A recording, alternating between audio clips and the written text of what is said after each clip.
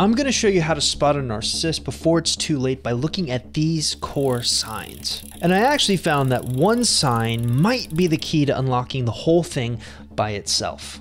All right, but let's first start at the beginning. Now, if you're not familiar, there's this widely circulated graphic going around the internet that basically describes something called the narcissistic abuse cycle. It looks like this. Now, this cycle has four distinct parts. The idealization stage, which is often referred to as this honeymoon period stage. And it's basically where the narcissist places you on a pedestal. Now, this stage often leaves you feeling intoxicated, consumed, quite frankly, a little excited. It's basically all full of hope and potential. Next comes the devaluation stage. This is essentially where the narcissist begins to lose interest in you. You're basically no longer their top priority, and as a result, you're subsequently dethroned. Essentially, you've lost all value to them. Then comes the discard stage. They basically break up with you or sever whatever connection they have with you. Because they have no more use for you, they discard you or they find someone new to fulfill their needs. More on that later. Then, of course, we have the Hoover stage, lovingly named after the Hoover vacuum cleaner. This is where the narcissist attempts to draw you back into their orbit. You'll basically see a glimpse of the person that they used to be, very similar to what they were doing during the idealization stage they essentially pull you back in, and then you basically go around and around multiple times throughout this cycle from idealization to devaluation to discarding, back to hoovering, back to idealization. You get the picture. So, obviously, if you're sitting here and seeing this and thinking, this is hitting a little too close to home, that might be a major red flag that you are with a narcissist. But actually, when I first stumbled across the narcissistic abuse cycle, the first thing that came to my mind was how similar it was to my avoidant death wheel graphic. And this really got me thinking what attachment style in general are narcissists? Well, if you go by what the comments on our YouTube channel say, you would probably believe that most narcissists are dismissive avoidants. After all, pretty much every single avoidant video that I do gets comments like this. So what I'd like to do is actually figure out if our commenters are correct. Check this out. This is a timeline of all the relevant, reputable research I could find on attachment theory and narcissism. So it basically all starts in 1998 when two researchers named Brennan and Shaver found a possible relation between the narcissistic personality disorder and the insecure attachment features.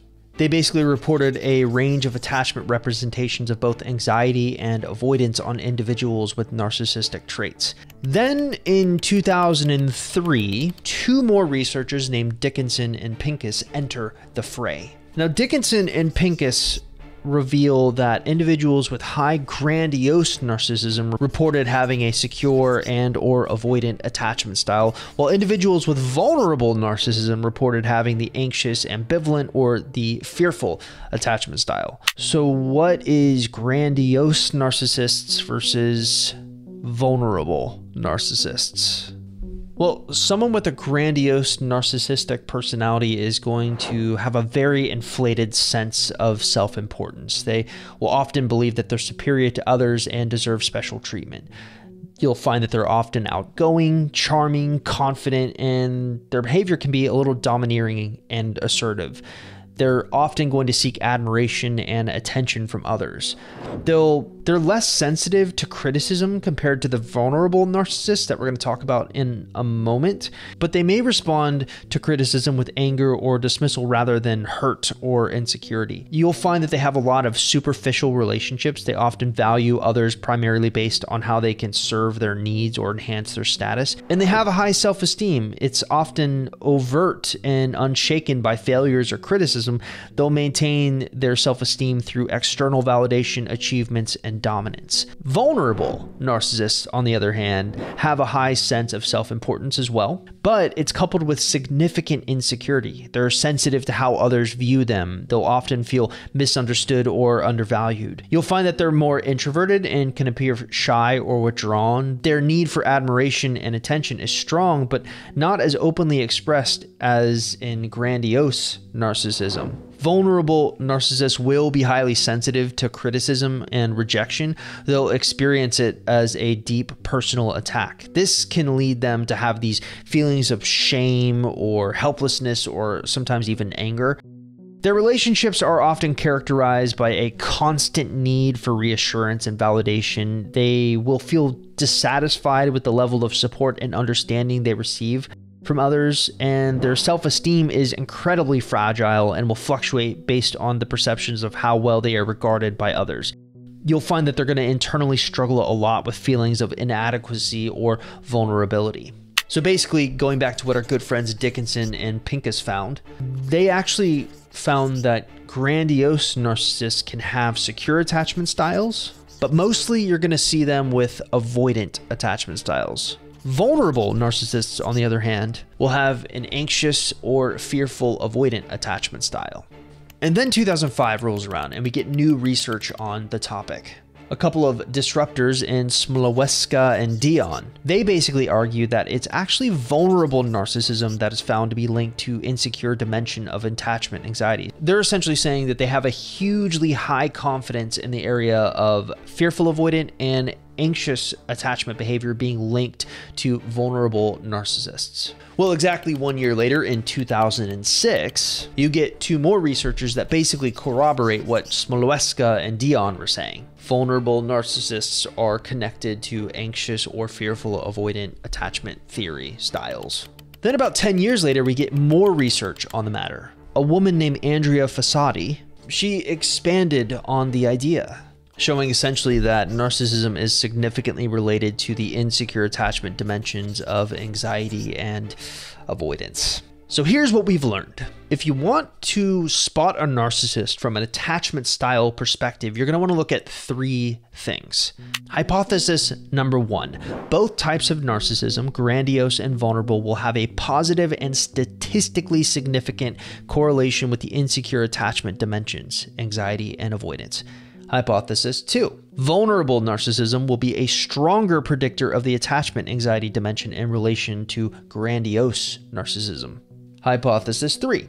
Grandiose narcissism will be a stronger predictor of the avoidant attachment dimension in relation to vulnerable narcissism. But I also think one of the clear factors for helping us spot a narcissist has a lot to do with this concept of narcissistic supply.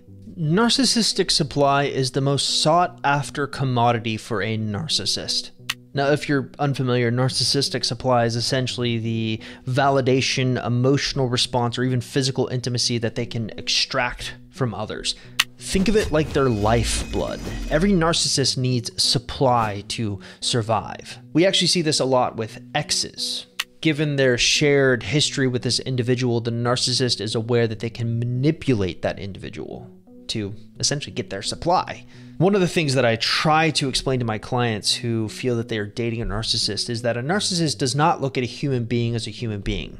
A narcissist looks at a human being as a source of supply, and that supply can come in many different forms. Emotional support for some, attention and admiration for others, physical intimacy for a few, companionship during a gym session, or simply someone to converse with during a walk. These are all examples of sources of supply. To a narcissist, individuals are merely vessels to prop up their egos. And the narcissist ultimately gets power and control out of it. And here's the crazy part the concept of supply isn't an everlasting concept. It actually kind of mirrors a drug addict's pursuit.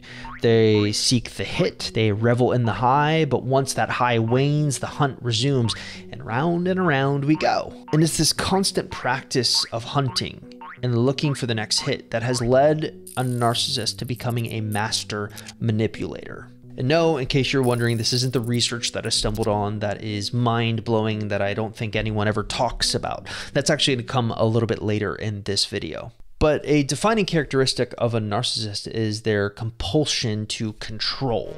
And one of the ways that they do that is using guilt. Now, one of the most disturbing instances of narcissism that we have seen a lot of is a narcissist's ability to use guilt by threatening self harm. Now, what usually happens is that the individual on the receiving end of this threat, well, they feel obligated to adhere to whatever the narcissist wants.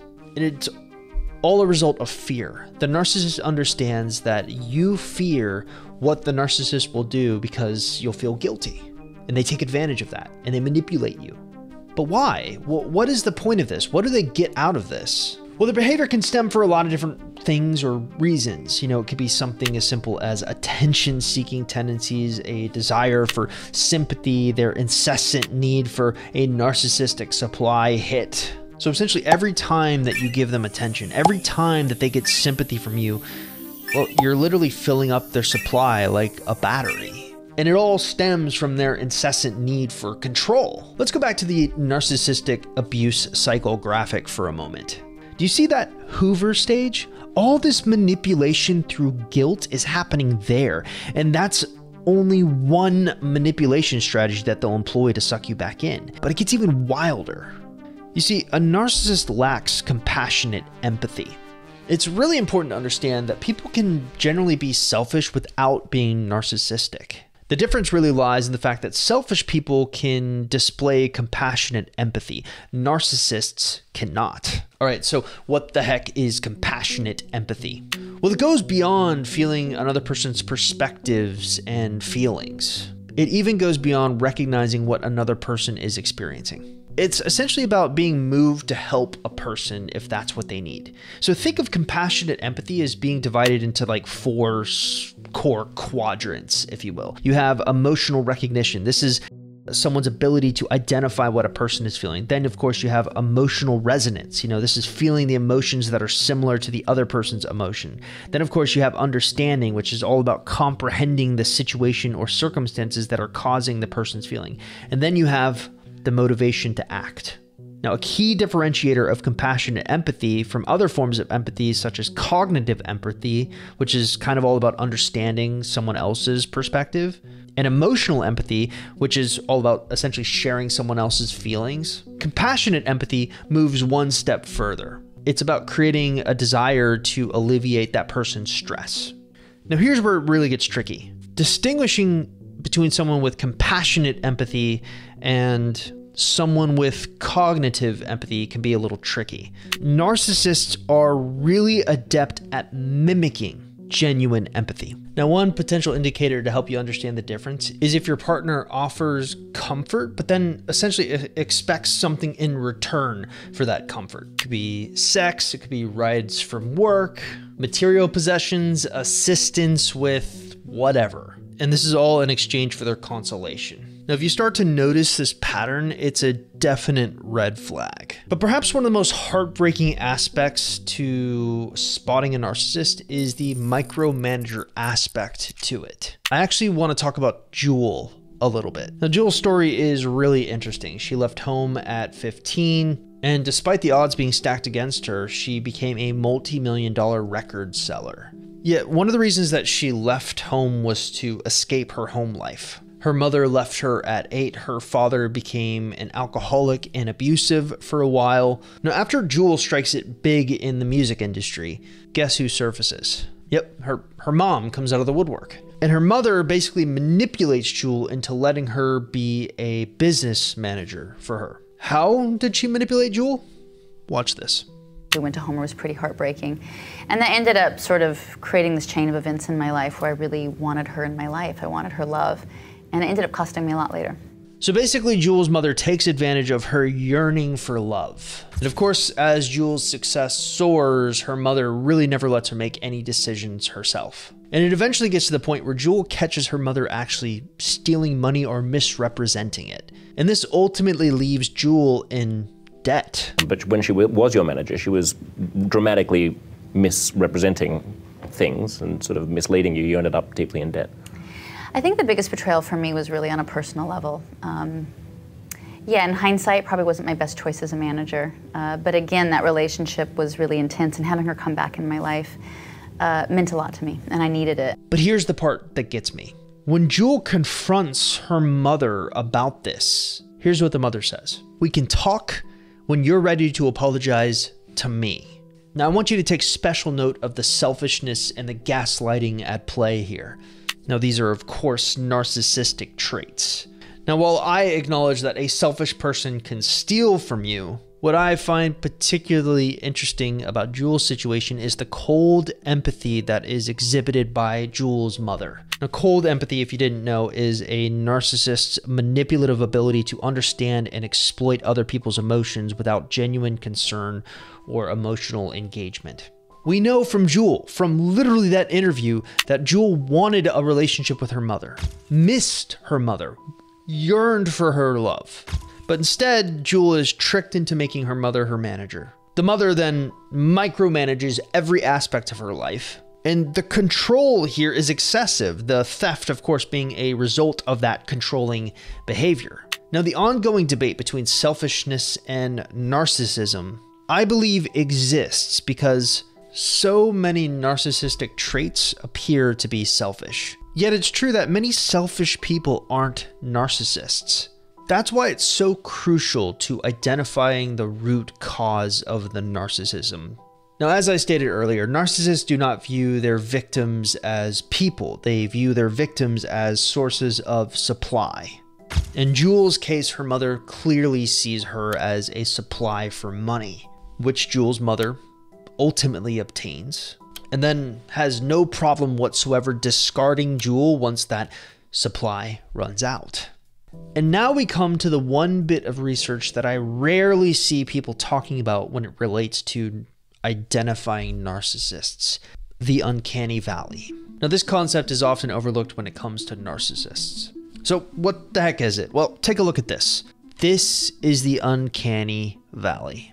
Now, the concept of the uncanny valley was founded by a man named Masahiro Mori, who was a professor at the Tokyo Institute of Technology way back in the 1970s. And he basically used this term to describe that as robots become increasingly human like in their appearance and intellect, they become more appealing. However, there's a specific threshold at which they begin to appear eerie or unsettling. This, of course, is the uncanny valley. So, if you've ever had this feeling, that surfaces when you're in a relationship with someone or you just have this feeling that something is persistently off. It's like you're dealing with a person that resembles a human being, but there's nothing inside. Like they have no soul. Well, this unsettling feeling is often attributed to relationships with narcissists because narcissists demonstrate cold empathy. Remember, our definition of cold empathy is it's the narcissist's manipulative ability to understand and exploit other people's emotions without genuine concern or emotional engagement. Ultimately, cold empathy makes narcissists seem robotic. Wild, right? It is their ultimate tell. So, as corny as this is to sound, I think it's really important when trying to identify if you're with the narcissist or not to trust your gut. They maybe say all the right things at first, and maybe at first they even do all the right things, but you just sense that something is off. What you may be sensing is the uncanny valley. Trust your gut.